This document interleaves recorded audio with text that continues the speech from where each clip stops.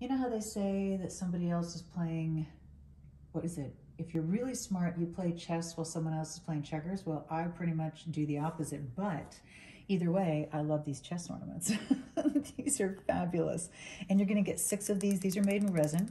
So just to let you know, um, if you're using a, a, natural tree, you're going to want to hang it in further where the branch is strong. If you're using a, a pre-lit artificial tree, you're going to be fine. Six different ornaments, beautifully, beautifully done. They're all in this black ribbon. I love them on the tree. I love them even just standing. You can stand them up as part of an arrangement or hang them on a tree. But in a collection called Boys Night In, um, we put the we put the liquor bottles and the chess ornaments. I think we're good. but the chess ornaments are fabulous. Whether you just like the way they look or if you do actually play chess, uh, I think these ornaments are going to be one of your favorite brand new things.